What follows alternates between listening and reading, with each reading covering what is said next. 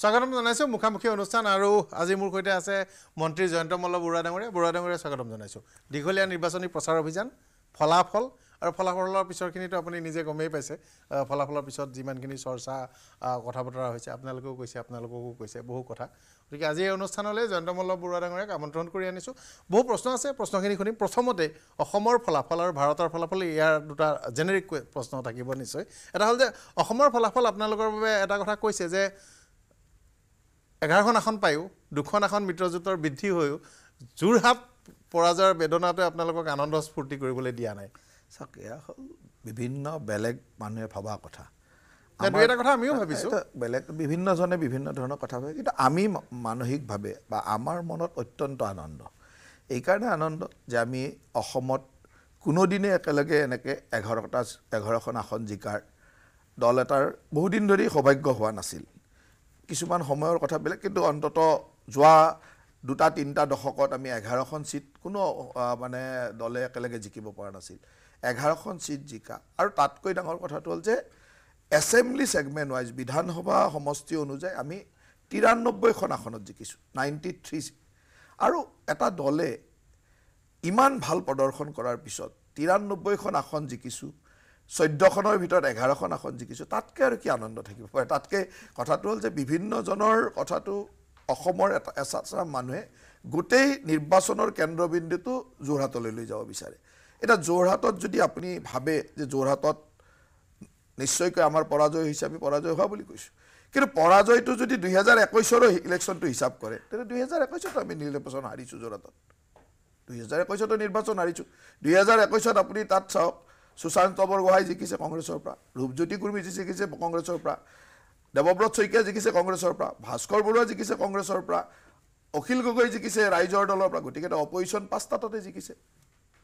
তাৰ উপৰি তাত যদি আপুনি লক্ষ্য কৰে যে কংগ্ৰেছ ৰাইজৰ দল আৰু অসম জাতীয় পৰিষদৰ ভোটখিনি যদি প্লাছ কৰি দিয়ে তিনিওটা ভোট তেতিয়াহ'লে যিমান ভোট তেওঁলোকে দুহেজাৰ একৈছত পাইছিলে এইবাৰ তাতকৈ তেওঁলোকে কম পাইছে। যোৱাবাৰ আমাৰ প্ৰাৰ্থীয়ে তপন গগৈ যিমান ভোট পাইছিলে তাতকৈ ভোট বেছি পাইছে। হাৰিছে সেইটো বেলেগ কথা। কিন্তু সেই চিটটো এনেকুৱা নহয় যে এইটো চিট একেবাৰে একদম হাণ্ড্ৰেড পাৰ্চেণ্ট চিয়'ৰ চিট এটা। অঁ এইটো ঠিক আমিতো কোৱা নাছিলোঁ আপোনালোকে কৈছিল। আপোনালোকে হিচাপে ল'লে। একো নাই সেইটো আপোনালোকৰ ধাৰণাটো হ'ল যে প্ৰেষ্টিজ ইছ্যু যেন পায়। কাৰণ অসমৰ বহু মানুহৰ ধৰক মানে ৰজা মহাৰজা আজি যিটো মুখ্যমন্ত্ৰীয়ে কৈছে ৰজা মহাৰজাৰ প্ৰতি এটা আকৰ্ষণ থাকে।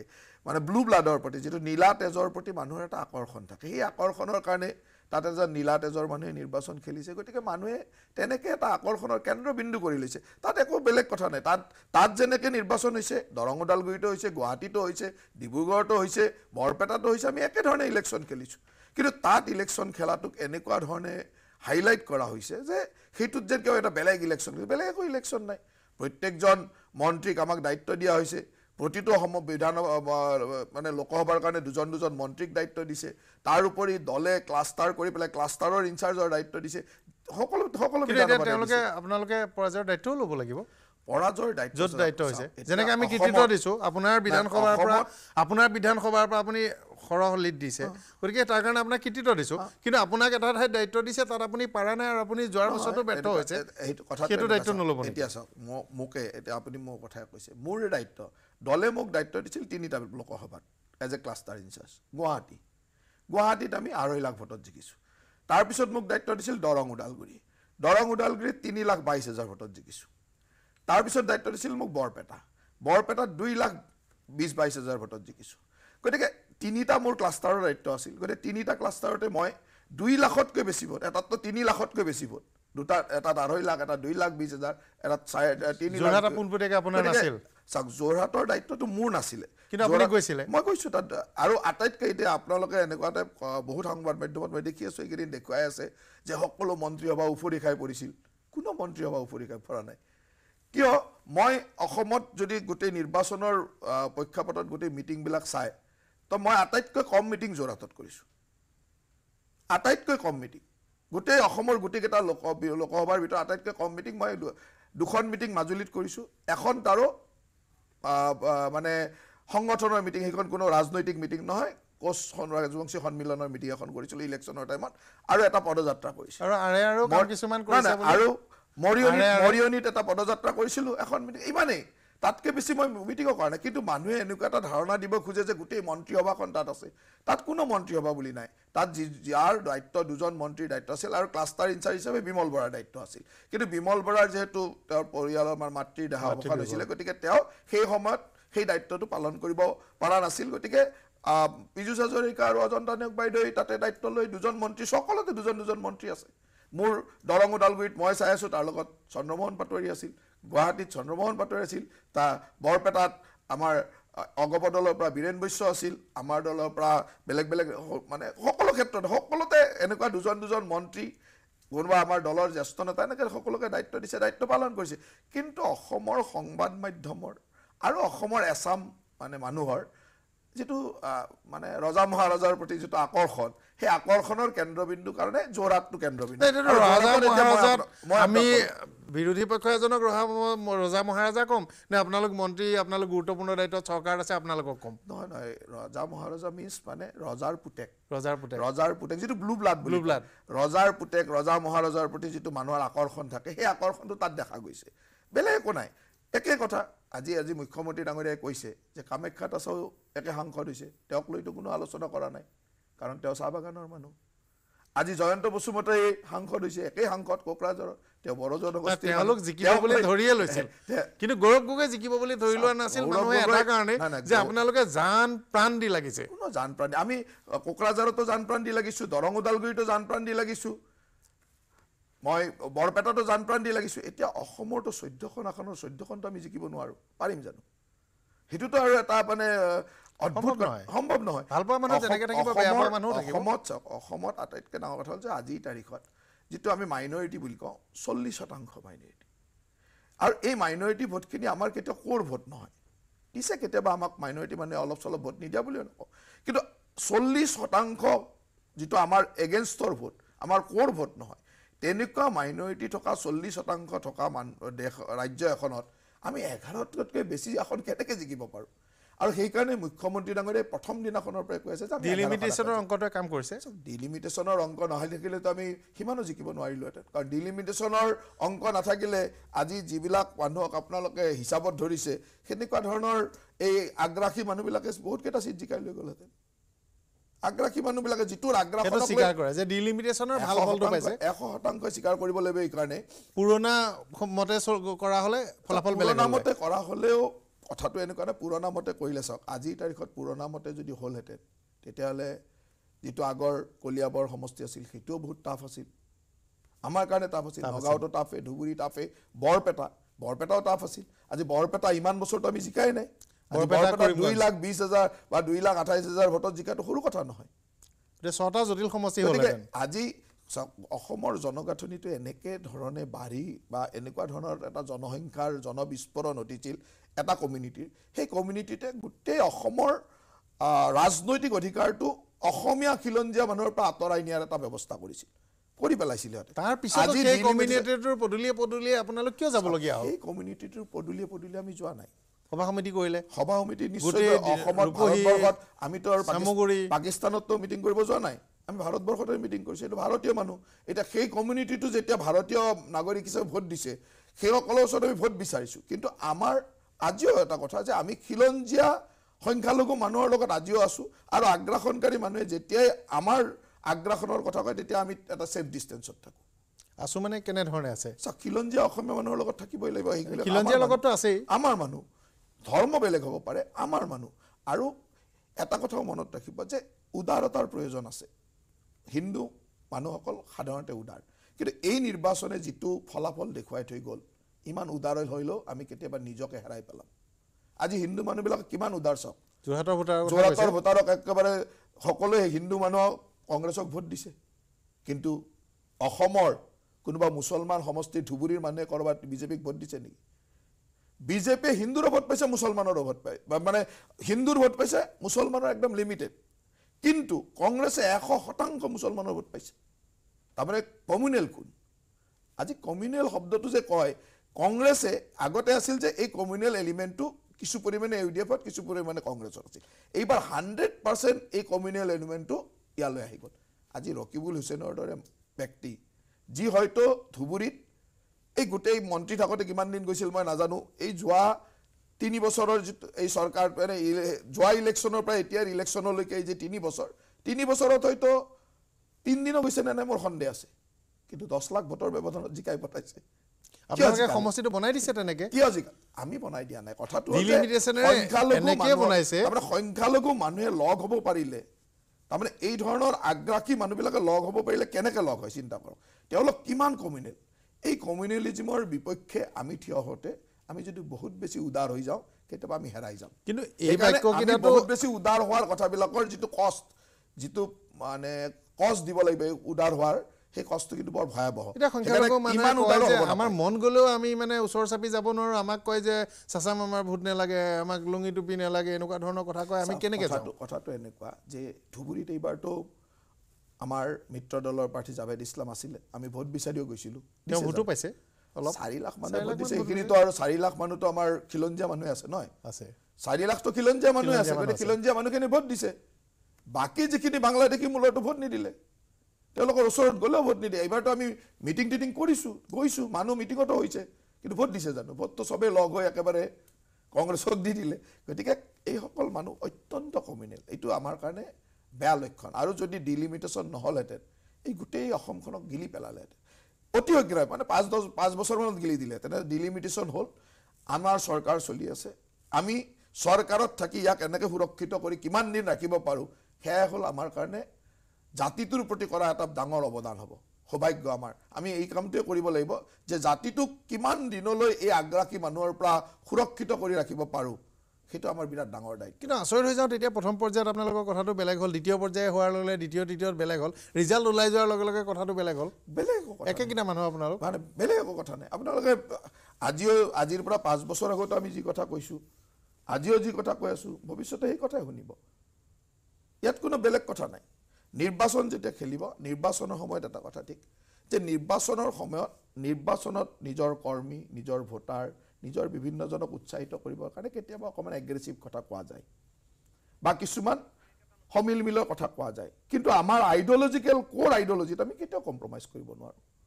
ক'ৰ আইডিঅলজি ইজ ক'ৰ আইডিঅলজি এতিয়া নিৰ্বাচনৰ সময়ত মই কিছুমান কথা ধৰক ময়ে ক'লোঁ সেই কথাটো মই এজন মন্ত্ৰী হিচাপে এনেই নকওঁ বা মই এজন দলৰ জ্যেষ্ঠ নেতা হিচাপে এনেই কৈ নাথাকোঁ। কিন্তু নিৰ্বাচনৰ সময়ত তাত কোৱাৰ প্ৰয়োজন আহি যায় যে মোৰ দলৰ কৰ্মীসকলক উৎসাহিত কৰিব লাগে। সেইবুলিয়ে যুক্তিহীন কথা এটা কৈ দিবনে? যুক্তিহীন কথা একো কোৱা নাই আমি। যুক্তিহীন কথা একো কোৱা নাই। এতিয়া মোক আজি মই দেখিছোঁ যে তেনেকুৱা এটা বাক্যও কৈছে আপুনি যে ৰকিবুল হুছেইন আৰু চুকুৰালে আপুনি তুলনা কৰিছে। অঁ হয়। কিন্তু ভোটটো আপুনি চাওক। ভোটটো তেওঁ চকুৰালীও ভোট পায়। তথাপিতো দহ লাখ ব্যৱধান। বা দেশৰ ভিতৰত এটা কথাটো এনেকুৱা যে আজিৰ তাৰিখত যেতিয়া এনেকুৱা কমিউনেল এলিমেণ্ট লগ হয় ৰকিবুল হুছেইন নহয় চকুৰ আলীকো যদি কালি কংগ্ৰেছৰ টিকট দি দিলে যি কি গ'ল মই সেইকাৰণে কৈছোঁ কালি যেতিয়া কমিউনেল এলিমেণ্টটো লগ হয় গোটেই কমিউনেল এলিমেণ্টটো তেতিয়া আৰু কোনো বেলেগ কথাই কাম নকৰে তেতিয়া চকুৰ আলীক কংগ্ৰেছৰ টিকটটো এইবাৰ দি দিলে কিমান ভোটে পালে বদৰুদ্দিন আজমলৰ এগেষ্টত যদি চকুৰ আলীক কংগ্ৰেছৰ টিকট এইবাৰ দিলেহেঁতেন সমান ভোট পালেহেঁতেন তাত কোনো মানে কমিউনেল এলিমেণ্টটোৱে কোনো যিহেতু। টিকট দিয়া নাই দুজন আপুনি মানে চাওক মই কি কৈছোঁ যে ইয়াত কমিউনেল এলিমেণ্টৰ কথা ইয়াত কোনো টিকট দিয়া নিদিয়াৰ কথা নাই টিকট যাক দিয়ে। সেইজনে এতিয়া চাওক এতিয়া মই যদি কওঁ এতিয়া মই যিটো ভোট পাওঁ সেইটো মোৰ অকল ভোট নহয় এইটো বিজেপি দলৰ ভোট। এইটো মোৰ ভোট নহয়। কিন্তু মই জনাত মই যদি ভাবোঁ আপোনাৰ সমষ্টিত আপুনি সংখ্যালঘু যিকেইজন আছে তেওঁলোকৰ ভোটো পায়। পাওঁ। এতিয়া আপোনাৰ এইটো মোৰ সমষ্টিত অলপ personal বেছিয়ে পায়। ব্যক্তিগত ব্যক্তিগত ৰিলেশ্যন এটা আছে। এতিয়া আমাৰ তাত সংখ্যালঘুবিলাক খিলঞ্জীয়া অসমীয়া মানুহ। মোৰ তাত বাংলাদেশী মূলৰ মানুহ খুব কম একেবাৰে লিমিটেড এতিয়া মোৰ তাত খিলঞ্জীয়া অসমীয়া মানুহ। গতিকে আৰু এই মানুহখিনিৰ লগত মোৰ আজি নহয়। বহু বছৰৰ ধৰি এটা সম্পৰ্ক আছে। বিপদে আপদে টানে মুস্কিলে মোক পাই থাকে। গতিকে সেইকাৰণে খিলঞ্জীয়া অসমীয়া মুছলমান মানুহে মোক ভোট দিয়ে। এইবাৰো দিছে এইবাৰ দিছে। কাৰণ মই যিটো কিন্তু আপোনাক represent কৰোঁ বাংলাভাষী লোকৰো মই এলেকা দুই এটাত খবৰ কৰিছিলোঁ তাতো ভোট পৰিছে। চাওক মোক অকণমান তাত লোকেল মোৰ যিটো নিজস্ব মানে ৰিলেশ্যন কাৰণ মই নিজে সেই মানুহবিলাকৰ লগত ৰিলেশ্যন নহয় মই মোৰ ভোটাৰসকলক মানে ধৰ্মীয় চিন্তা চৰ্চাৰেতো নাচাওঁ। গতিকে মোৰ ভোটাৰ হিন্দু হওক মুছলমান হওক সকলোৰে লগত একেলগে দুটা মানুহ আপুনি সমষ্টিত এজন বেলেগ মানুহ বাহিৰত এজন। বেলেগ। আনকি আপুনি যদি চাই কংগ্ৰেছৰ যিসকল ক'ৰ ভোটাৰ কংগ্ৰেছক যুগে যুগে ভোট দি আহিছে সেই ভোটাৰসকলেও মোৰ ওচৰত আহিলে কাৰোবাৰ বেমাৰ হ'লে কাৰোবাক কিবা চৰকাৰী ব্যৱস্থাত সহায় লাগে কাৰোবাক কিবা লাগে। মই অৰুণোদয় দিওঁতে কেতিয়াও নাচাওঁ কোনজন কংগ্ৰেছী নে বিজেপি মই চাওঁ দুখীয়া মানুহ। মই ৰেচন কাৰ্ড দিওঁতে কেতিয়াও নাচাওঁ যে এইজন বিজেপি কংগ্ৰেছ নে ইউ ডি এফ কৰে নে কি কৰে মই নাচাওঁ। কিয় নাচাওঁ এইটো আঁচনিয়ে দুখীয়া মানুহৰ কাৰণে। গতিকে মই সেই কথাবিলাক অলপ সমষ্টিত মেইনটেইন এই কাৰণে কৰোঁ যে সমষ্টিত প্ৰয়োজন এইটো। কাৰণ এই আঁচনিটো আমি দুখীয়া মানুহৰ কাৰণে বনাইছোঁ। অঁ এইটো ঠিক। যেতিয়া অৰুণোদয় মই দহ হাজাৰ দিম তেতিয়া প্ৰথম দহ হাজাৰ আমাৰ দুখীয়া কোৰ ছাপৰ্টাৰসকলক দিম। তাৰপিছত যেতিয়া আৰু পাঁচ হাজাৰ দিম তেতিয়া দুখীয়ালৈকে যাম। যেতিয়া দুখীয়া বেলেগ দলৰ দুখীয়া নোহোৱাই তাতকৈ অলপ আৰু অলপ উচ্চ খাব দিব তেতিয়া আমি বিজেপিটোক দিম। প্ৰিফাৰেঞ্চটো বিজেপিৰ প্ৰতি থাকিব। কিন্তু দুখীয়া হ'লে তাক কংগ্ৰেছ বুলি একেবাৰে নেগলেক্ট কৰি নাপালোঁ যে এইটো কংগ্ৰেছৰ দুখীয়া মানুহ গতিকে ৰেচন কাৰ্ডখন পাব নালাগে এইটো নহয়। পাব দুখীয়া। যিটো তাৰ নিয়ম মাফিক পায়েই পাব সি কংগ্ৰেছ কৰিলে পাব। সমষ্টিত আৰু বাহিৰত বেলেগ সেইকাৰণে এতিয়া চাওক যিদিনাখন প্ৰথম ইলেকশ্যন খেলিছিলোঁ মই সেইদিনাখন মোক নলবাৰীৰ ৰাইজে চল্লিছ হাজাৰ ভোট দিছিল। আজি নলবাৰীৰ সেই একেই ৰাইজ এক লাখ ছয় হাজাৰ ভোট যোৱাবাৰ দিছে। এইবাৰো এক লাখ পাঁচ হাজাৰ ভোট দিছে। গতিকে এক লাখ পাঁচ হাজাৰ আৰু আটাইতকৈ ডাঙৰ কথা জনসংখ্যাও সলনি হৈছে। এতিয়া যোৱা আপোনালোকে হেৰিয়াৰ পৰা উলিয়াইও আনিলে। যোৱা যোৱা যোৱা ইলেকশ্যনৰ মানে যোৱা ডিলিমিটেশ্যন হোৱাৰ আগত মোৰ সমষ্টিটোৰ যিমান সংখ্যালঘু ভোট আছিল সেই সংখ্যালঘু ভোটতকৈ এতিয়া মোৰ বিছ হাজাৰ ভোট বাঢ়ি বাঢ়ি গৈছে সংখ্যালঘুৰ। মই বৰক্ষেত্ৰী সমষ্টিৰ পৰা বিছ হাজাৰ সংখ্যালঘু মানুহৰ ভোট বঢ়াই লৈছোঁ। আৰু মোক সদায় ভোট দি থকা বিছ হাজাৰ হিন্দু মানুহৰ ভোট বৰক্ষেত্ৰী সমষ্টিলৈ গুচি গৈছে। তাৰপিছতো মই আজি এক লাখ পাঁচ হাজাৰ ভোট পাইছোঁ। কাৰণ আপুনি দুটা মানুহ। দুটা মানুহ নহয়। সমষ্টিত আপুনি সংখ্যালঘু লোকসকলৰ সৈতে সংখ্যালঘু মোৰ সমষ্টিৰ ভোটাৰৰ সুখে দুখে আপদে বিপদে তাত থাকোঁ। সেইকাৰণে মানুহে সেই ধৰণে চিন্তা কৰে। আৰু মোৰ সম- সমষ্টিটোত সংখ্যালঘু এইখিনি অসমীয়া মুছলমান মানুহ। ই কোনো বাহিৰৰ পৰা বৰক্ষেত্ৰীৰ পৰা যোৱা। সকলোখিনি একেবাৰে লিমিটেড একেবাৰে সামান্য বহুত বেছি নহয়। মোৰ প্ৰায় পঞ্চাছ হাজাৰ মুছলমান মানুহ। এতিয়া পঞ্চাছ হাজাৰ মুছলমান মানুহ থকা ভোটত প্ৰায় ষাঠি হাজাৰ ভোটত বিজয়ী হোৱাটো সাতাৱন্ন আঠাৱন্ন হাজাৰ ভোটত বিজয়ী হোৱাটো মোৰ কাৰণে এটা আচলতে কঠিন। তথাপিতো মোক নলবাৰীৰ ৰাইজে সিমানখিনি মৰম কৰিছে। দিছে। মৰম কৰিছে। সেইকাৰণে নলবাৰীৰ ৰাইজৰ ওচৰত মই সদায় কৃতজ্ঞ যে আজি মোক প্ৰথম যিবাৰ ভোট দিছিল মাত্ৰ চল্লিছ হাজাৰ মানুহে ভোট দিছিল। এতিয়া এই চল্লিছটো আহি এক লাখ ছয়লৈকেতো গৈছে। গতিকে সেইটোৱে কথা যে আমি চেষ্টা কৰিম যে আৰু মানুহে মৰম কৰক আৰু মানুহৰ যাতে মৰম লৈ থাকিব পাৰোঁ সেইটোৱে আমাৰ দায়িত্ব। চেষ্টা কৰিব। আমি কথা পাতি থাকিম এটা চমু বিৰতি লৈছোঁ বিৰতিৰ পিছত ঘূৰি আহিম।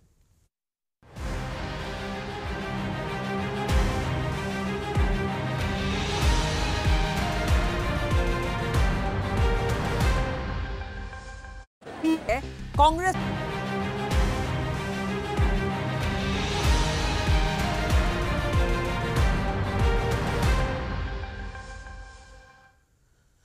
বিৰতিৰ পিছত স্বাগতম জনাইছোঁ। মোৰ সৈতে আছে মন্ত্ৰী জয়ন্ত মল্ল বৰুৱা ডাঙৰীয়া আৰু আমি আলোচনা কৰি আছোঁ নিৰ্বাচনৰ ফলাফলৰ পিছৰ পৰিৱেশ আৰু নিৰ্বাচনৰ এই যি জয় পৰাজয় সকলো বিষয়ৰ বিশ্লেষণ। এতিয়া চৰ্চা হৈছে যে আপোনাৰ এই সতীৰ্থ এজন বিধায়কে গুৰুত্বপূৰ্ণ অভিযোগ আনিছে যে যোৰহাটৰ পৰাজয়ত আপোনাৰো অৰিহণা আছে। একদম আৰু সেইটোক লৈ এটা প্ৰতিক্ৰিয়া হৈছে। আপোনালোকে বিষয়টো তেওঁ কোৱাতেই শেষ নহ'ল হ'লে। পিছত গৈ দেখিলোঁ যে মুখ্যমন্ত্ৰীও এটা প্ৰতিক্ৰিয়া তাৰ দিছে। যদি যোৰহাটৰ পৰাজয়তে মোৰ অৰিহণা আছে তেতিয়া অসমৰ এঘাৰখন আসন জিকাটো মোৰ ক'ৰবাত অৰিহণা আছে। সেইটোতো স্বীকাৰ কৰি লওক ডেফিনেটলি সেইটোতে থাকিব। কিন্তু যোৰহাটত যোৰহাটত পৰাজয়ত যদি মোৰ অৰিহণা আছে এঘাৰখন আসনতো মোৰ ক'ৰবাত জয়লাভত অৰিহণা আছে। এতিয়া মোৰ তিনিটা ক্লাষ্টাৰ আছিল তিনিওটা জিকিছে বিশাল ভোটৰ ব্যৱধানত জিকিছে। এতিয়া মানুহৰ কথাটো কেনেকুৱা যে কিছুমান মানুহে বিভিন্ন কাৰণত কিছুমান ব্যক্তিৰ প্ৰতি ঈৰ্ষা হিংসা থাকে আৰু। এইটো কোনো অস্বাভাৱিক নহয় ৰাজনীতিতো থাকে সাধাৰণ মানুহৰো থাকে কেতিয়াবা আমাক দেখি থাকে। এতিয়া বহুত মানুহে দেখিছে আমি এজন সাধাৰণ পৰিয়ালৰ ল'ৰা আজি আহি মন্ত্ৰী হৈ গ'লোঁ। সাধাৰণভাৱেও আমাক দেখিছে।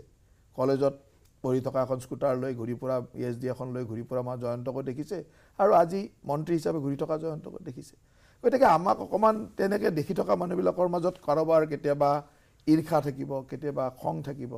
আৰু এই ঈৰ্ষা থকা মানুহবিলাকে কেতিয়াবা এই কথাবিলাক বিভিন্ন ধৰণে ক'ব। এতিয়া মই ষ্টেটিষ্টিক্সেৰে চাওক যে মই মই গ'লে ভোট বাঢ়ে নে কমে? মই গৈ মিটিং কৰা মই গৈ দায়িত্ব লোৱা জেগাবিলাকত ভোট বাঢ়িছে নে কমিছে? গোটেই অসমত এঘাৰখন জিকিলোঁ তাৰ কৃতিত্বটো মই ক'ৰবাত পাম। মোৰ তিনিটা ক্লাষ্টাৰৰ তিনিটা জিকিলোঁ তাৰ কৃতিত্বটো মই ক'ৰবাত পাম। যোৰহাটত মই তিনি চাৰিখন মিটিং কৰিছোঁ ইমানেই। তাৰ ডিছক্ৰেডিটো মই ল'ব লাগিব। মই এইটো নকওঁ যে মই ডিছক্ৰেডিট নলওঁ। যোৰহাটটো জিকাও মোৰ দায়িত্ব। নিজিকিলোঁ তাৰ কাৰণে ডিছক্ৰেডিট ল'ম। যে এইটো জিকাব নোৱাৰিলোঁ আমাৰ কাৰণে ভুল নোৱাৰিলোঁ ক'ৰবাত ভুল হৈছে সেইটো ল'ম। কিন্তু এঘাৰখন আশাত জিকাৰ কৃতিত্বটো দিব লাগিব। ঠিক তেনেদৰে বহুত মানুহৰ এনেকুৱা যে তৎক্ষণাত কৈ দিয়ে যে অলপ বহুত অহংকাৰী হৈ গ'ল। কাৰণ আমাৰ বিষয়ে একো বেলেগ ক'ব নোৱাৰে। মন্ত্ৰী না কিবা কাৰাপশ্যন চাৰ্জ আনিব পাৰে না কিবা গণ্ডগোল দিব পাৰে না ইনএফিচিয়েঞ্চিৰ কথা ক'ব পাৰে। মন্ত্ৰী হিচাপে দিনে ৰাতি কষ্ট কৰি কাম কৰাৰ চেষ্টা কৰিছোঁ কেতিয়াও বেয়া কোনো কথা নাই কোনো চাৰিত্ৰিক কথা ক'ব নোৱাৰে কোনো বেয়া কথা ওলাব নোৱাৰে। গতিকে তেওঁলোকৰ ওলাব পৰা যিহেতু মোৰ মন্ত্ৰী হিচাপে বা মোক ক'ব পৰা একো ৰাস্তা নাথাকে তেতিয়া তেওঁলোকে কয় যে এওঁলোকৰ অহংকাৰ হৈ গৈছে। যদি মোৰ অহংকাৰেই হয় যদি মোৰ অহংকাৰে হয় তেতিয়াহ'লে মোক নলবাৰীৰ মানুহে কি অহংকাৰৰ কাৰণে মোক ভোট দিব নেকি? নলবাৰীৰ মানুহ ইমান মানে মানে মানুহে এইটো কথা ভাবিব নালাগে যে যোৰহাটৰ মানুহে অকল শিক্ষিত নলবাৰীৰ মানুহ অশিক্ষিত নেকি? নলবাৰীৰ মানুহ শিক্ষিত নলবাৰী অসমৰ এজন আটাইতকৈ এটা শিক্ষিত অঞ্চলৰ পৰা মই বিলংছ কৰোঁ। কৰোঁ নে নকৰোঁ? সেই শিক্ষিত অঞ্চলৰ মানুহে মই যদি অহংকাৰী হওঁ মই যদি মানুহক বেয়া ব্যৱহাৰ কৰোঁ মানুহক যদি মানে হেৰি কৰোঁ মোক কি ভোট দিব নেকি মানুহে? মোকতো ভোট নিদিয়ে। এইবিলাক হ'ল মানুহে এটা বনাই দিব খোজা কথা। যে অলপ অহংকাৰী হৈ গ'ল অলপ অমুক হৈ গ'ল। নেচাৰেলি মই আজিৰ পৰা পাঁচ বছৰ আগত বা দহ বছৰ আগত বা পোন্ধৰ বছৰ আগত যেতিয়া যুৱ নেতা হিচাপে ঘূৰি ফুৰিছোঁ তেতিয়াৰ জীৱন ধাৰণাটো আৰু এতিয়াৰ মাজত অলপতো পাৰ্থক্য থাকিব। সেই পাৰ্থক্যবিলাকক লৈ বিভিন্নজনে বিভিন্ন কথা কয়। আগতে এনেকুৱা আছিল যে আগতে যেতিয়া ইউথ কংগ্ৰেছ কৰিছিলোঁ অমুক কৰিছিলোঁ তেতিয়া বেলেগকো ক'ব নোৱাৰে। তেওঁলোকে চিণ্ডিকেট কৰে অমুক কৰে আজিকালিতো সেইবিলাকো ক'ব নোৱাৰে। কাৰণ সেইবিলাকৰ লগত আমাৰ সম্পৰ্কই নাই ক'ব কেনেকৈ? আগতে যুৱ কংগ্ৰেছ কৰোঁতে এইবিলাকে কৈছিলে একো ক'ব নোৱাৰে। কাৰণ আজিৰ তাৰিখত মোক মন্ত্ৰী হিচাপে কি ক'ব? মোৰ এই ইনএফিচিয়েণ্ট মন্ত্ৰী বুলি ক'ব নেকি? মইতো নিজৰ মন্ত্ৰিত্বৰ ডিপাৰ্টমেণ্টকেইটা এফিচিয়েণ্টলি চলাবলৈ চেষ্টা কৰিছোঁ। মই নকওঁ ছাকচেছ সফলতা বিফলতা ৰাইজে বিচাৰ কৰিব। কিন্তু মই মন্ত্ৰী হিচাপে আজি আপুনি মই অহাৰ লগে লগে মোক ক'লে যে আজিকালি ফোনে নকৰে। মই ফোন কৰিবৰ কাৰণে আপোনাৰ লগত সেই সম্পৰ্কটো ফোনেৰে কথা পতাৰ যিটো সম্পৰ্কৰ ব্যৱস্থা এই ব্যৱস্থাখিনি ৰাখিবৰ কাৰণেও আমাৰ সময়ৰ অভাৱ হৈ যায় যে ডিপাৰ্টমেণ্টৰ কাম দলৰ কাম দলটোৰ কাম সুন্দৰভাৱে কৰোঁ। কোনো কষ্ট নকৰাকৈ মানে মানে সকলো সময়ত কষ্ট কৰি দলটোৰ কাৰণে কাম কৰোঁ চৰকাৰখনৰ কাৰণে কাম কৰোঁ। দলত মন্ত্ৰী হিচাপে বা চৰকাৰত মন্ত্ৰী হিচাপে এফি এফিচিয়েঞ্চিৰ কথাত কেতিয়াও কোনো ক'ব নোৱাৰে। আজিৰ তাৰিখলৈকে কোনো এনেকুৱা দুৰ্নীতি বা এনেকুৱা ব্যৱস্থাৰ মাজত নাই যাক লৈ আমাক আঙুলিটোৱে কথা ক'ব। বিভিন্ন ৰাজনৈতিক নেতাৰ বিভিন্ন ধৰণৰ চাৰিত্ৰিক কথা বিভিন্ন ধন সম্পত্তি ইত্যাদিৰ কথা থাকে এইবিলাকো আমাৰ লগত নাই। ক'ব নোৱাৰে। এতিয়া ক'বলৈ কি আছে? অহংকাৰ হৈছে। কৈ দিয়া এটা। সেইটোতো কোনো যুক্তি নাই সেইটোতো মই হয় নহয় জাষ্টিফিকেশ্যন দিবৰ কাৰণে সেইটো মই ক'ব লাগিব। কিন্তু সুযোগটো দিছে আপোনালোকে কেইটামান মাজে মাজে এনেকুৱা কথা কৈ। সেইকেইটা কথা নকলেও হয়। এটা এটা কথা আমি যদি মূল্যবোধৰ কথা আজি আজি আপোনাক এটা সামাজিকভাৱে ৰাজহুৱাভাৱে আপোনাক এটা কথা কৈ থৈ যাওঁ। মই মোৰ জীৱনত খুব কমেই এনেকুৱা কথা কৈছোঁ যিবিলাক কথা ক'ব নালাগে। কেতিয়াবা হৈ যায় দুই এটা কথা মই নোলোৱাকৈ নকোৱা বুলিও মই নকওঁ হঠাৎ নক'বলগীয়া কথা এটা কৈ দিয়া যায়। কিন্তু বহুত এনেকুৱা ঘটনাও আছে যিবিলাক কথা মই আচলতে কোৱা নাই। মিডিয়াত এনেকুৱাকৈ ওলাই দিয়া হয়। আমি মিছকোট কৰিছোঁ। মিছকট নহয় তাৰ কথাটোকে মই কোৱা কথাখিনি একফাল ওলাই দিয়ে একফাল নকয়। প্ৰথমখিনি কয় শেষৰখিনি নকয়। শেষৰখিনি ক'লে প্ৰথমখিনি নকয়। এনেকুৱা ধৰণৰ কিছুমান ঘটনা ঘটাৰ কাৰণে মানুহৰ মাজত বিভ্ৰান্তি হৈছে। এতিয়া কিছুদিন আগতে আপোনালোকে এটা নিউজ বজালে গোটেই অসমৰ বেছিভাগ সংবাদ মাধ্যমে বিচাৰে যে মই কৈ দিলোঁ বোলে চাৰি পাঁচদিন পুৰণা মানুহবিলাকে অকল বিজেপি কৰে। এনেকৈ কৈ দিলে এটা কোট কৰি দিলে। কিন্তু আপুনি যদি কমপ্লিট ভিডিঅ'টো ওলাই চায় মই কি কৈছোঁ? মই কৈছোঁ যে আমি বিজেপিত অহা ন বছৰ হ'ল। ন বছৰ দিনে ৰাতি চৌব্বিছ ঘণ্টাই কষ্ট কৰি কাম কৰাৰ চেষ্টা কৰিছোঁ। আৰু আজিৰ দলত এনেকুৱা মানুহ আছে কোনোবা যিবিলাকে তিনি চাৰিদিন দলত আহে। তেওঁলোকে দলত আহিয়ে বহুত কথা কৈ দিয়ে যে আমি অমুক অমুক চনৰ পৰা অমুক কৰিছোঁ। কিন্তু তেওঁলোকে দলত আহি কামো ভালকৈ নকৰে দৌৰা দৌৰি নকৰে। এতিয়া সেই কথাখিনিকে বঢ়িয়াকৈ কৈ দিয়ে যে মই পুৰণি মানুহক চাৰি পাঁচদিন কাম কৰাবলৈ। এতিয়া পুৰণি যিজন জ্যেষ্ঠ বিজেপি নেতা তেওঁক যদি মই পাঁচদিন কাম কৰা বুলি কওঁ তেওঁতো অলপমান মনত বেয়া পাব নহয়। তেওঁলোকে যেতিয়া নুশুনিব গোটেই বক্তব্যটো মই কি ক'লোঁ? মইতো বক্তব্যটো কৈছিলোঁ বেলেগ। এতিয়া মোক আগৰ পিছৰখিনি কোৱা নাই। পাঁচ চাৰি পাঁচদিন বিজেপি কৰা মানুহক মানে বিজেপি কৰা মানুহে অমুক কৰিলে এনেকৈ কৈ দিয়ে। তেওঁলোকে ভাবি ল'লে যে মই চাৰি পাঁচদিন বিজেপি কৰা বুলি তেওঁলোকক উপলুঙা কৰিলোঁ। এই খোজটো নেমাৰিলে নহয়নে নাই নাই মানে কথাটো হ'ল যে এই যে আপোনালোকে যে ইণ্টাৰ কেতিয়াবা এনেকৈ সুধি থাকে সেইকাৰণে মই এতিয়া নতুনকৈ আজিয়ে আপোনাক কৈ থৈ যাওঁ মই নতুনকৈ এটা সিদ্ধান্ত লৈছোঁ। বৰ ৰাজহুৱাকৈ কোৱা নাছিলোঁ আজি আৰু আপোনাৰ লগত কথাটো হ'ল যেতিয়া কওঁ। মই আজিকালি এটা সিদ্ধান্ত লৈছোঁ যে এনেকৈ মুখামুখি প্ৰেছ এনেকৈ শ্ব' হ'লে নাইবা যেতিয়া আমাৰ মানে কেতিয়াবা প্ৰেছ ব্ৰিফিং হয়। যেনেকৈ বা কেবিনেটৰ প্ৰেছ ব্ৰিফিং হ'ল দলই কিবা মোক প্ৰেছ ব্ৰিফিং কৰিব দিলে। সেইবিলাকক বাদ দি আৰু মিডিয়াক বহুত বাইট- বেছি বাইট কথা নিদিয়ে। বাইট নিদিওঁ। কাৰণ বাইটবিলাক কিবা কওঁ কিবা কাটি কিবা বজাই দিয়ে। আৰু অযথা এটা বিতৰ্কৰ সৃষ্টি। নাই নকলেই হ'ল সেইটো কথা। নহয় নহয় মই নহয় মই নকওঁৱে তাক কাটি কুটি এনেকৈ বজাই দিয়ে যিটো আপুনি এতিয়া এনেকুৱা ঘটনা হয় যে মই কোৱা পুৰণা কথা এটা এতিয়াৰ লগত জগৰাই দি পেলাই বনাই দিয়ে। যেনেকৈ ৰাজেন গোহাঁই সম্পৰ্কত মই যেতিয়া পাৰ্টি অফিচত কিবা বেলেগ এটা বাইট দিলোঁ তাক কাটি কুটি বেলেগ ধৰণে বজোৱা হ'ল। কিন্তু একচুৱেল গোটেই কথাখিনি যদি বাইটটো চাই মই তেনেকুৱা কথা কোৱা নাই। এতিয়া মানুহে যেতিয়া আধা শুনিব আপোনালোকে সংবাদ মাধ্যম এটাই বুলি নহয় নহয় দুই তিনিটা সংবাদ মাধ্যমে একেটাই বজাই দিয়ে। বজাই দিলে মানুহৰ এটা সন্দেহ হয় যে ইহঁতে চাগে এনেকৈ কয়। আৰু মানুহেতো ধৰক আমাকো বেয়া পোৱা মানুহ আছে সেইবিলাকে আকৌ তাত সাৰ পানী দি দিয়ে। সেইকাৰণে মই ভাবিছোঁ যে আজি কিছুদিনৰ পৰা মোক দেখিছে মই কৈছোঁ ইলেকশ্যনৰ কেইদিনৰ পিছত মই বাইট টাইট বেছিকৈ দিয়াই নাই। কিয় দিয়া নাই? এতিয়া মোক কোনোবাই সুধি যে এনেকুৱা ক'ৰবাত ডিছকাশ্যনত মাতিবা কথা পাতিম প্ৰেছ মিট ব্ৰিফিং কৰিম সেইটো কৰিম। মানুহে আকৌ ছচিয়েল মিডিয়া কপাই আছে আপোনালোকে একো নোকোৱা দেখিও এওঁলোক এতিয়া দায়িত্ব ল'বলৈ নাহে এতিয়া ছ'চিয়েল মিডিয়াত নহয় যিখিনি ক'ব মই মোৰ ছ'চিয়েল সেইকাৰণে মই আজি আপোনাক বিচাৰিছোঁ। নহয় আপুনি বিচৰাৰ লগে লগে মই কি কৈছোঁ বোলে হ'ব আপুনি বিচাৰিছে মই আহিছোঁ। এনেকৈ আপোনালোকে মুখামুখি যেতিয়া লাইভ কৰিব ইয়াততো আৰু কাটিব নোৱাৰে। ইয়াততো লাইভ হৈ আছে মানুহে শুনি আছে। এতিয়া মই আপুনি এটা বাইট ল'লে ইয়াতে আহি আগ পিচ কাটি পেলাই কিবা এটা বেলেগ বজাই দিলে। সেই তাৰ মিনিংটো বেলেগ ওলাই যায়। তাৰমানে সেই বঙালীত এষাৰ কথা আছে যে এটা জেগাত বোলে লিখা আছিল যে এইখানে পেচাব কৰিও না কৰিলে দণ্ডনীয় হবে। সি যদি পঢ়ে এইখানে পেচাব কৰিও না কৰিলে দণ্ডনীয় হবে। উল্টা হৈ গ'ল কথাটো। বুজি পালে? এতিয়া কথাটো তেনেকুৱা। মিডিয়াৰ দোষ মিডিয়া বুলি নহয় মিডিয়াৰ দোষ বুলি নকওঁ। আমাক বেয়া পোৱা বহুত মানুহ নাই জানো? আজি কংগ্ৰেছ দলে আমাক কিমান ডেমেজ কৰিব পাৰে তাৰ কাৰণে চেষ্টা কৰি আছে। কৰিবই কৰিব এইটো স্বাভাৱিক। সেইকাৰণে আমিও আমাৰ ব্যৱস্থাটো কৰিব। সেইকাৰণে মই আজিকালি মই যে আপোনাক ক'লোঁ যে এনেকুৱা ধৰণৰ যিবিলাকক বিতৰ্ক হ'ব পাৰে এইবিলাক আমি নকৰিলে হ'ল। এইটো কথাও ঠিক মই সেইটোকে কৈছোঁ কথাও ঠিক যে সেই কথাকেইটা নোকোৱাকৈ আপোনালোকে ৰাজনীতি কৰিব পাৰে। নহয় এতিয়া চাওক মই ইলেকশ্যনৰ সময়ত কিছুমান কথা ক'ব লাগিব। ক'ব এইকাৰণে লাগিব ইলেকশ্যনত আমাৰ মুখলৈ বহুত কৰ্মীয়ে চাই থাকে। কৰ্মীবিলাকক এনকাৰেজ কৰিব লগা হয় অলপ এগ্ৰেছিভ। কৰিব লাগে গতিকে ইলেকশ্যনৰ সময়ৰ কথাখিনি বেলেগ আমি সেইটো কমে কিন্তু মন্ত্ৰী হিচাপে বা মই এজন বিধায়ক হিচাপে আজিৰ তাৰিখত মোৰ ধৰক ফিফটি ক্ৰছ কৰি গ'ল fifty two years three years পালোঁ আৰু। বাৱন্ন বছৰ বয়স হৈ গ'ল মানে মই জ্যেষ্ঠই আৰু। গতিকে মোৰো অলপ শালীনতা বা অমায়িকতাৰ প্ৰয়োজন আছে। কেতিয়াবা কি হয় কথাৰ মাজতে অকণমান নক'বলগীয়া দুই এটা কথা নকোৱা মই অস্বীকাৰ নকৰোঁ। কিন্তু সেইটো নক'লেও হয়। পিছত ভাবোঁ যে এইটো নক'লেওতো আছিল ঠিকে আছিলে। কিন্তু কেতিয়াবা ধৰক আমিও এটা বিভিন্ন ষ্টেজৰ মাজেৰে আহিছোঁ কেতিয়াবা বিভিন্ন প্ৰেছাৰতো থাকোঁ। বিভিন্নজনে বিভিন্ন ধৰণে কথা কৈ দি ইৰিটেট কৰি দিয়ে। যিমান দূৰ পাৰোঁ সেইবিলাক কণ্ট্ৰল কৰি ৰাখিব লাগে। মোৰ ক্ষেত্ৰত খুব কমেই হয়। মোৰ ক্ষেত্ৰত বেছি হয় কি যে মই কওঁ কিবা এটা কাটি কুটি বজাই দিয়ে কিবা এটা। সেইটো কাৰণত মই ভাবিলোঁ যে এইবিলাক বজাই দিয়া সুবিধাটো দিব নালাগে। মই আপোনাক একদম স্পষ্ট আৰু সেইকাৰণে যদি দেখে নিৰ্বাচনৰ পিছৰ পৰা মই ৰিজাল্ট ওলোৱা বুলি কোৱা নাই। নিৰ্বাচনৰ মাজতে এই ঘটনাবিলাক ঘটিছে তো নিৰ্বাচনৰ সময়তে এই এইবিলাক ঘটনা ঘটিছে। সৰু সৰু কথা কিছুমানক লৈ ইছ্যু বনাবলৈ চেষ্টা কৰা হৈছে যিবিলাক মই কোৱা নাছিলোঁ। সেইকাৰণে মই তাৰ পিছৰ পৰা ভাবিলোঁ যে এইবিলাক আৰু বেছি বাইট টাইট দিব নালাগে।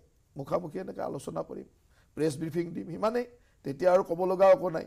আৰু তেতিয়া লাইফত থাকিলে ক'বলৈ কথা নাই। কিন্তু এই কাটি কুটি যে বজায় এইটো বৰ বিপদজনক। এইটো বজায় আৰু। এতিয়া আপুনি কাৰোবাকতো কৈও লাভ নাই আৰু বহুত কথা এনেকুৱা থাকে। বহুত মানুহ আজিকালি এতিয়া আপুনি অহাৰ লগে লগে কোৱা নাই যে আজিকালি ফোনেই নাপাওঁ। তেনেকুৱা বহুত মানুহ এতিয়া ব্যস্ততাপূৰ্ণ জীৱনত আগতে যেনেকৈ মানুহবিলাক মই বিচাৰি আছোঁ এই কথাটো সুধিবৰ কাৰণে। এতিয়া এটা দায়িত্বটো ল'ব নলয়। দায়িত্বটো মইতো কৈছোঁ। এঘাৰটা এঘাৰটা জিকাৰ দায়িত্বও লৈছোঁ আৰু যোৰহাট হাৰাৰ দায়িত্ব লৈছোঁ। তেওঁৰ নাইণ্টি থ্ৰী আসনৰ জিকাৰ দায়িত্ব লৈছোঁ।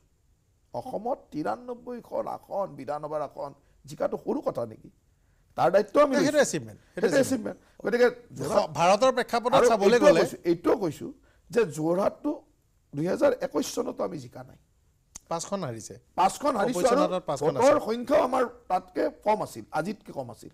গতিকে এইটো হিচাপ কৰি চাব আপুনি এতিয়া এতিয়া অসমৰ বহুত জাৰ্নে মানে বুদ্ধিজীৱীয়ে বিভিন্ন ধৰণৰ হিচাপ কৰে। আজি বহুত বুদ্ধিজীৱীয়ে কিবা পলিং পাৰ্চেণ্টেজ মানে ভোট শ্বেয়াৰ কংগ্ৰেছৰ বাঢ়িছে এনেকুৱা টাইপ কৰিছে। মই পিছত চালোঁ যে কিবা বাঢ়িছে নেকি। পিছত দেখিলোঁ এইটো এটা অদ্ভুত তথ্য এটা। কংগ্ৰেছে গোটেই ভোট শ্বেয়াৰটো চৈধ্যখন আসনত ইনক্লুডিং লুৰিন লৈ পেলাই কৰিলে। আৰু আমাৰ ভোট শ্বেয়াৰটো তেওঁলোকে কেনেকৈ কৰিলে কংগ্ৰেছে লুৰিণটো লৈ কৰা নাই। কৰিছে। তাৰ বাহিৰে। Election commission. সিহঁতে সিহঁতে ইলেকশ্যন কমিশ্যন। নাই নাই মানে যিটো ভোট শ্বেয়াৰ দেখালে আমাৰ ভোট শ্বেয়াৰটো কি কৰিলে? আমি অকল এ জি পি কেইটা আমাৰ ভোট শ্বেয়াৰ নহয়। নহয়। এ জি পি আৰু ইউ পি পি এল যদি আমাৰ ভোট শ্বেয়াৰ নহয় তেতিয়াহ'লে আমাৰ ভোট শ্বেয়াৰটোতো কমিবই। আপোনালোকৰ পাৰ্টি হিচাপে thirty seven point four three এতিয়া- এতিয়া আৰু আপুনি- কংগ্ৰেছৰ thirty seven point four eight আ, এতিয়া আপুনি Point assessment zero কৰক। এতিয়া- four। এতিয়া মোক কওক আপুনি এছেছমেণ্ট কৰোঁতে এতিয়া বৰপেটাটো আমাৰ ভোট শ্বেয়াৰত নাহিব নেকি? পাৰ্টি ভোট শ্বেয়াৰ মানে মৰ্চাৰ ভোট শ্বেয়াৰ আহিব সেইটো এতিয়াতো বিজেপিৰ ভোট শ্বেয়াৰ- মৰ্চা মিনছ কি? আপুনি যদি কম্পিটিশ্যনে কৰিব বিচাৰে তেতিয়া এন ডি আৰু ইউ পি এ কৰক। N D A U P এটো কৰা নাই। বিজেপি আৰু কংগ্ৰেছ কৰি দেখাইছে। আমিতো এন ডি এ বুলিতো কংগ্ৰেছে দুটা কি এ জি পিয়ে দুটা চিট খেলিছে। ইউ পি পি এলে এটা চিট খেলিছে। আমি সেইটোতে ভাবিছো ভোট share কৰিব। আপোনালোকেনো দল হিচাপেনো আপোনালোক কংগ্ৰেছতকে কিয় পিছ পৰিব? নহয় নহয় নহয় উত্তৰটো দল আমি হিচাপে বিচাৰিছো। তেওঁলোকে তেওঁলোকে এতিয়া খেলিছে তেৰখন আসনত। তেৰখন আসনত দুখনত বেছি খেলিছে। খেলিছে তেৰখন আসনত। তাতে ধুবুৰীৰ দৰে ঠাই এখনত খেলিছে য'ত দহ লাখ পোন্ধৰ দহ লাখ মানে ওঠৰ লাখ মান ভোট পোৱা নাই জানো কিবা সোতৰ সোতৰ লাখ মান ভোট পোৱা নাই জানো। গতিকে তেনেকুৱা আসনত খেলি সেইটো হিচাপ দেখাই কিবা লাভ আছে নেকি? হিচাপটো হ'ল যে দুহেজাৰ ছাব্বিছত এই এশ ছাব্বিছখন সম- সমষ্টিৰ কোনে কিমানত জিকিলে? আমি তিৰান্নব্বৈখনত জিকিলোঁ। হিচাপ তাতে হয়। চাওঁ আপোনালোকে যোৰহাটত নিয়াৰ কি পৰিকল্পনা আছে। সেইটো সুধিম। কিন্তু এটা চমু বিৰতি লৈছোঁ বিৰতিৰ পিছত উভতি আহিম আৰু চৰ্চা অব্যাহত থাকিব গুৰুত্বপূৰ্ণ প্ৰশ্নও থাকিব।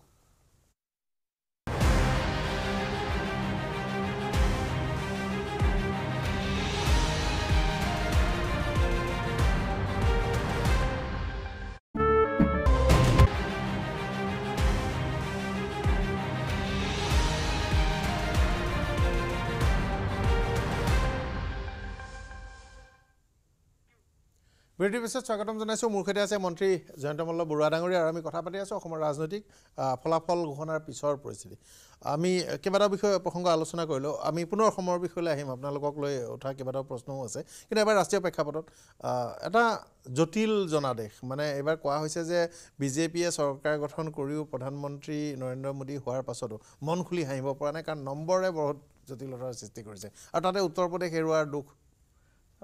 কথাটো এনেকুৱা যে এজন এটা দলে একেলগে তিনিবাৰ নিৰ্বাচনত বিজয়ী হোৱাটো বৰ সৰু কথা নহয়। আমাৰ প্ৰজন্মই দেখা নাই। আমাৰ প্ৰজন্মই দেখা নাই। জৱাহৰলাল নেহৰু এবাৰ হৈছিল বুলি কয়। আৰু সেই সময়তো অপজিশ্যন বুলিবলৈ বিশেষ নাছিল। এটা স্বাধীনতা আন্দোলনৰ এটা লিগেচি সামান্য বাওঁ দলৰ কেইজনমান কেইজনমান প্ৰাৰ্থী গতিকে তাত ছচিয়েলিষ্ট। তৃতীয়বাৰৰ কাৰণে হৈছিলে। এই এই প্ৰজন্মই আমি- নেহেৰুৰ লগত তুলনা নহয় তেওঁ এজন শক্তিশালী নেতা। এতিয়া এই পৰিৱেশটোতো আমি দেখা নাছিলোঁ। গতিকে তৃতীয়বাৰৰ কাৰণে চৰকাৰ অহাটোৱে বহুত কঠিন কাম। আৰু তাৰ পিছতো মানে পঁচিছ ত্ৰিছটা ছিটৰ কথা পঁচিছ ত্ৰিছটা ছিট ব্যক্তি মানে দল হিচাপে আমাৰ কম হৈছে মানে চৰকাৰ গঠনৰ। কিন্তু এন ডি এ হিচাপেতো আমি ইলেকশ্যনে খেলিছোঁ এন ডি এ হিচাপে। আমি ডেমক্ৰেটিক এলায়েন্স বুলিয়ে ইলেকশ্যন প্ৰিপল এলায়েন্স ইয়াততো আৰু পোষ্ট পলৰ কথা নহয়। প্ৰিপলতে আমি কাৰণ আমি বাকী ছিটবিলাকত ইলেকশ্যনে খেলা নাই। ৰিজাল্ট দিয়াৰ পাছত আমি এতিয়ালৈকে চকুত পৰা নাই। ৰিজাল্ট দিয়াৰ পিছততো আৰু কাকো আনি আনিবলগীয়া হোৱা নাই। গতিকে ইলেকশ্যনে খেলিছোঁ এন ডি এ হিচাপে। এতিয়া অসমত যেনেকৈ আমি হিচাপ কৰোঁতে এঘাৰটা কৈ আছোঁ। কিন্তু বিজেপিৰ নটাহে এটা এ জি পি এটা ইউ পি পি এল গতিকে আমি এঘাৰটা কৈ আছোঁ। গতিকে কথাটো হ'ল যে এঘাৰটাই। আৰু ঠিক তেনেদৰে ভাৰতবৰ্ষতো দুইশ তিৰান্নব্বৈটাই। তাৰ পিছত আৰু বহুত দলে সমৰ্থন দিব খুজিছে দিছে সেইটো পিছৰ কথা। কিন্তু এন ডি এ যিটো প্ৰি পল এলায়েন্স যিটো এন ডি এ আছিল তেওঁ দুইশ তিৰান্নব্বৈটা পাইছোঁ গতিকে দুইশ তিৰান্নব্বৈটা মানে এবচলিউট মেজৰিটি আৰু সুন্দৰভাৱে তাত কোনে মেজৰিটি কমি গ'ল অমুক হ'ল তমুক হ'ল এইবিলাক হ'ল। এই যে মই ক'লোঁ মানে বিভিন্নজনৰ বিভিন্ন নেৰেটিভ যিসকলে এনেকৈ একেলগে এবচলিউট মেজৰিটি পোৱাটো বিচৰা নাছিল তেওঁলোকে এইটোকে এটা নেৰেটিভ বনাইছে এতিয়া অসমত এঘাৰখন আসন জিকাৰ পিছতো অসমত এঘাৰখন আসন জিকাৰ পিছতো বিজেপিৰ ভাল হোৱা নাই এটা নেৰেটিভ বনাবলৈ কোনে চেষ্টা কৰে যোনে আমাক বেয়া পায় কৰিছে। অসমত আপোনালোকৰ বাবে যোৰহাট পৰাজয়ৰ বেদনাৰ বাহিৰে অসমত বাকী চব ভালে হৈছে যোৰহাটখন জিকিলে?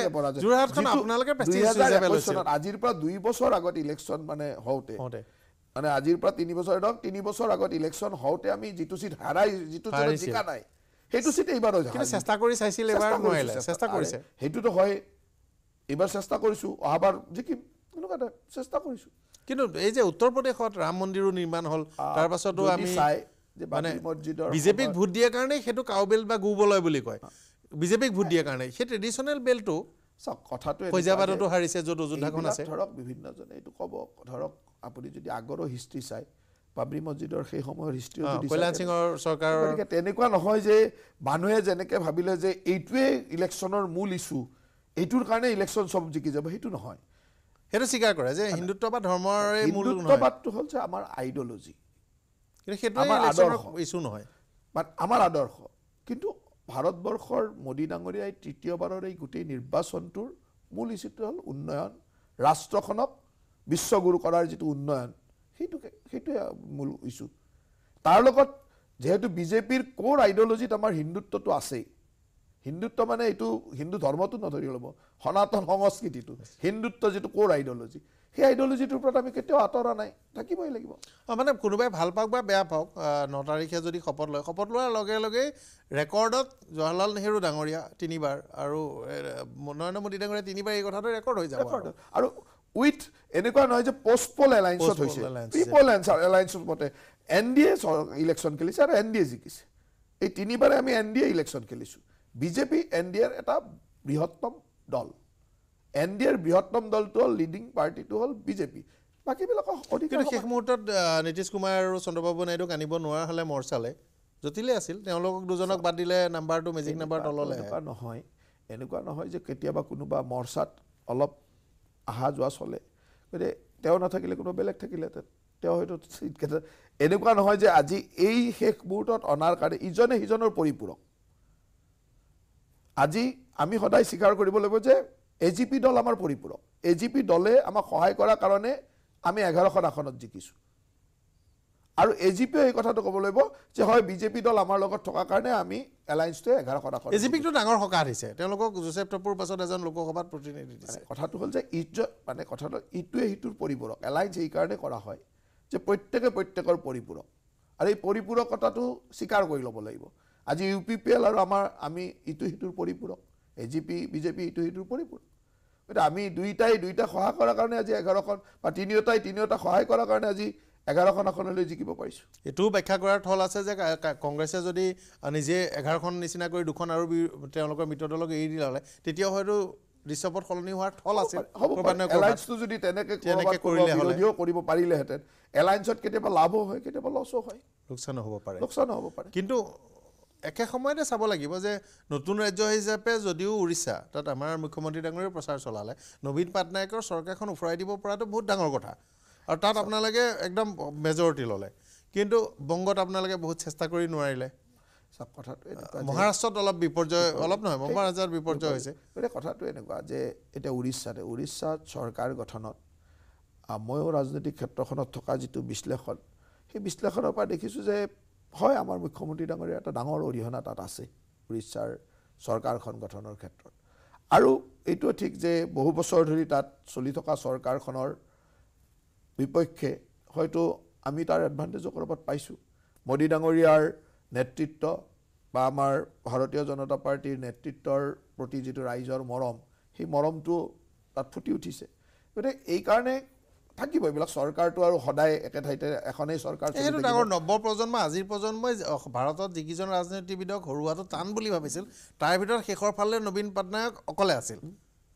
মানে বহুতে ময়ো নিজে আজি ইলেকশ্যনৰ ট্ৰেণ্ডটো ধৰিব নোৱাৰালৈকে সেই সেই কামটোতো বিজেপি দলে কৰিলে। ঠিক তেনেকৈ ধৰক এইবাৰ নিৰ্বাচনত যদি এটা বস্তু চায়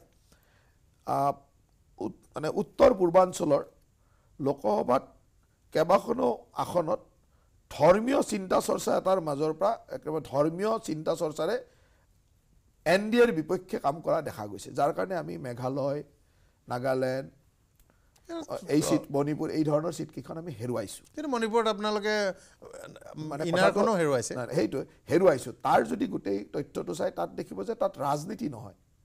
তাত ধৰ্মীয় ডাইৰেকশ্যন সেইটো সকলোৱে জানে।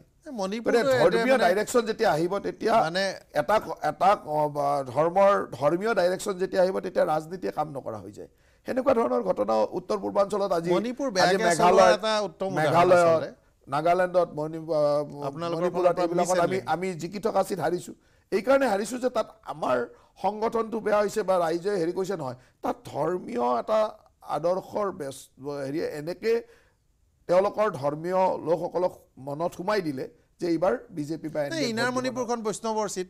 সেইকাৰণে মই ক'লো মেইটেই বৈষ্ণৱ। বৈষ্ণৱসকলেনো ধৰ- আপোনালোকক কিয় নিদিলে? নহয় মানে ভাৰতৰ বৃহত্তৰ সনাতনী সংস্কৃতিৰ গোটেই বস্তুটো যদি আপুনি এনালাইচিছ কৰে তাত দেখিব যে এইটো এটা ডাঙৰ ফেক্টৰ সেই ফেক্টৰবিলাকক আমি মানি ল'ব লাগে। মানি ল'ব লাগিব। মানি ল'ব লাগে। এতিয়া আজি মুখ্যমন্ত্ৰী ডাঙৰীয়াই এই কথাবিলাক স্পষ্ট ভাষাৰে কৈছে। যদি আমি ৰাজনীতিত ধৰক আমি হিন্দুত্বৰ আদৰ্শেৰে কাম কৰি থাকোঁ। কেতিয়াবা যদি বোলে গোটেই শংকৰাচাৰ্যবিলাকে আমাক বিৰোধ কৰিলে শংকৰ সংঘই বিৰোধ কৰিলে অমুকে বিৰোধ কৰিলে তেতিয়া তাৰ এটা ইম্পেক্ট নপৰিব জানো? সেইকাৰণে সেই কথাবিলাকো কেতিয়াবা এইবাৰ তাৰে ইম্পেক্ট এটা পৰিছে নেকি? আমাৰ আমাৰ উত্তৰ পূৰ্বাঞ্চলৰ বিশেষকৈ মেঘালয় মণিপুৰ নাগালেণ্ড এই চিটকেইখনতো পৰিছে। বৈষ্ণৱ পুৰো সেইটো পৰিছে বুলি ক'বলৈ দিগদাৰ।